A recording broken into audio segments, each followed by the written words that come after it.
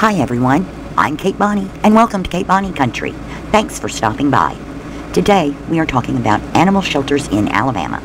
As many of you know, I volunteer to groom animals at the Bibb County Animal Shelter. You are most likely viewing this video because you want to help. So here is the obligatory like, subscribe, comment, and share request. While I absolutely do appreciate your support of my channel, that is not my focus today. Alabama state law requires all counties to provide an animal control facility and one impound officer to assist law enforcement in prosecuting abuse and neglect cases, pick up and impound animals found roaming at large in the county, and house those animals. However, no provisions within the law provide for funding these facilities. Each county must find funding for their own facilities. The larger counties with high populations and larger tax bases are able to meet the basic needs of these animals. But rural counties with fewer people and small tax bases struggle to meet those needs. This is true of all rural counties in Alabama, not just Bibb. I absolutely do not want anyone laying hate at the feet of the county commissions. When there are limited funds for all county services and the commission has to choose between maintaining roads so school buses can safely transport children to and from school without getting stuck, or providing veterinary care to injured unwanted animals, the roads are going to get fixed and children protected first. When a county has to choose between replacing aged equipment at the sewage treatment plant or water purification facility in order to protect the health of all of the residents, or feed animals at the county shelter, the human needs will come first. It is simply the harsh reality of too much to do and not enough money to do it with.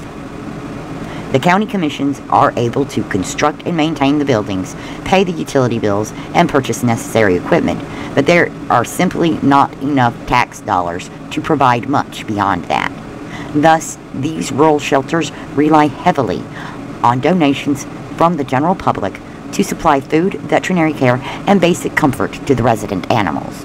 So I'm going to tell you a little bit about the Bibb County Animal Shelter located at 134 Bibb Lane in Brent, Alabama. It is conveniently located between the Bibb County Jail and State Prison. It is open to the public from 1 to 5 p.m. on Tuesdays and Thursdays for adoptions. It is staffed by one impound officer and one kennel worker who feed the animals and clean the pens daily. They are also responsible for picking up animals that run at large in the county and confiscating abused and neglected animals. They are county employees, so there are times when they are expected to perform other duties for the county. Thus, the animals may only see a human three to four hours each day for feeding and cleaning.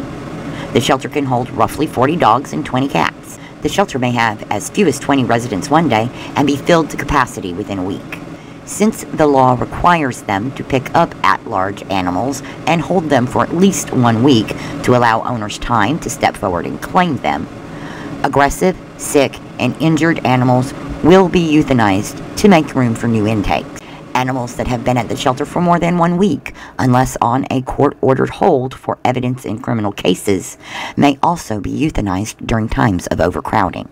Sadly, there are times of high population when animals are euthanized because there simply isn't enough food available for all of them, and there is no more money to buy food. This is where your help is so greatly needed and appreciated. The Bibb County Animal Shelter is currently supported by individual volunteers and donors. These are people like me that try to provide comfort to the animals, find rescues that can take them, and forever homes. They spend their personal money to transport animals to rescues or otherwise arrange transportation. They spend their personal funds to buy food for the animals. And sometimes they do ask other people for financial help. We would love to organize a legal 501c3 group, but when we are faced with paying for an attorney and fees associated with that or buying 50 pound bags of dog food to keep the dogs fed so they can live a little longer, we are absolutely going to feed the dogs. So if you are an attorney in the state of Alabama and would be willing to help us organize pro bono, please reach out to me. For everyone else, there are three ways you can help. First, we have a Walmart registry that is updated twice a month. go to www.walmart.com. Go to the Services tab. Scroll down to Registries, Lists, and Gifts. Then click on Registries. When that page loads, scroll down to Find a Registry. Choose any occasion from the type of registry drop-down menu. Under Event Name, type Bibb Co. Al Shelter, and then choose Alabama under State. Finally, click on Find a Registry. You can choose any item on this list, and it will ship directly to the Bibb County Animal Shelter. The majority of the items on the list qualify for free shipping for W Plus members. There is a designated secure delivery area for when the gate is locked. Let's face it, the shelter is located between the county jail and the state prison. It is monitored 24 7. Only a true idiot would even think about trying to steal their deliveries. The second way you can help is to call the Veterinary Hospital of Centreville and offer to pay towards the shelter account. The account is listed as the Friends of Bibb County Shelter. Dr. Bolding and his staff provide services for the injured and sick shelter animals on account. They will never turn away an injured shelter animal just because the account has a balance, and the account currently has a balance. Finally, you can send donations directly to my PayPal account via katebonny20 at gmail.com.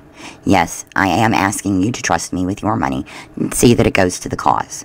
I am honored and humbled by the trust people have placed in me to do this. Since I do receive money for my business through this PayPal account, please make sure to include a note stating that these funds are to go towards helping the animals. If you are not a Walmart Plus member and want to save the shipping fees, just tell me what you want me to buy with it.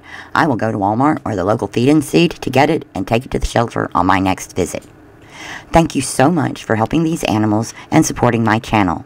This channel is not possible without your support, and these animals depend on you.